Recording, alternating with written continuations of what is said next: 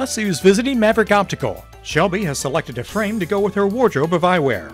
Kelly's blue contacts show her school spirit while running cross country or watching UK. Janelle knows both glasses and contacts are great choices. Ronnie's not intimidated while playing sports because he has in your face protection.